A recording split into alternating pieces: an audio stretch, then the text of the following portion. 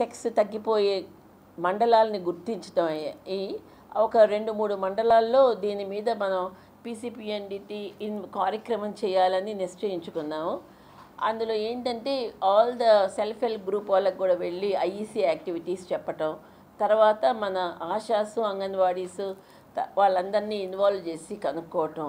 అక్కడ ఏమైనా abortion rate ఏమైనా ఎక్కడ ఎక్కువ వస్తుంది? ఏ హాస్పిటల్స్లో అబార్షన్స్ ఎక్కువ జరుగుతున్నాయి? అనే దాన్ని బట్టి బ్యాక్వర్డ్గా మళ్ళీ వెనక్కి వెళ్ళి ఎక్కడ ఏంటి అనే దాని మీద ఎంక్వైరీలు చేయటం.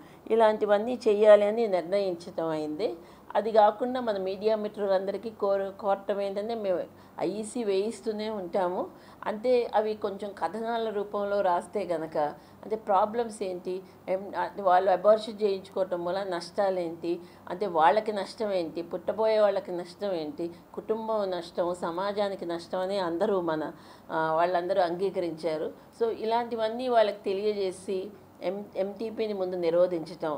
అలాంటి విషయాలు ఫిమేల్ సెక్స్ గురించి గుర్తించి చెప్పేవి ఎక్కడ తెలిసినా కూడా ఎవరు ఎక్కడ జరుగుతుందని తెలిసినా కూడా మాకు ఆ విషయం కనుక తెలిపితే డెఫినెట్గా మేము దాని మీద ఖచ్చితంగా చర్యలు తీసుకుంటాం. రెకాయ్ ఆపరేషన్ చేసైనా సరే చర్యలు తీసుకుంటాం.